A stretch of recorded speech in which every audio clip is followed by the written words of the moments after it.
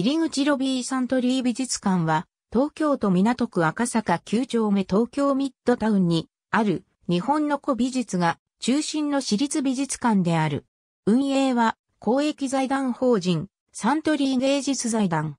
1961年、飲料メーカーのサントリー社長、佐治慶三が生活の中の美を基本テーマとして千代田区丸の内のパレスビル内にサントリー美術館を開館した。その後、1975年に港区赤坂のサントリービルに移転した。2005年1月にサントリー東京支社がお台場に移転することに合わせて一時的に休館し、2007年3月30日に防衛庁跡地を再開発して建築された東京ミッドタウンに入居する新サントリー美術館として再オープンした。2019年11月に一時的に休館し、改修工事を施し、2020年7月にリニューアルオープンした。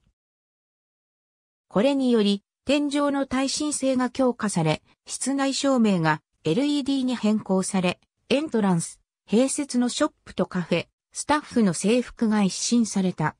リニューアルのデザイン監修は、本館が入居する東京ミッドタウンガーデンサイトと本館の設計を手掛けた熊健吾が言った。本館と森美術館と国立新美術館と合わせて3館で六本木アートトライアングルを構成している。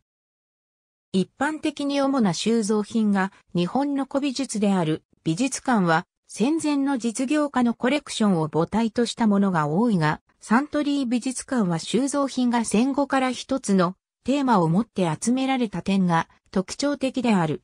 江戸切子、薩摩切子、エミールガレ等のガラス工芸品も代表的なコレクションの一つ。国宝重要文化財、転居、2000年までの指定物件については、国宝重要文化財大全別館による。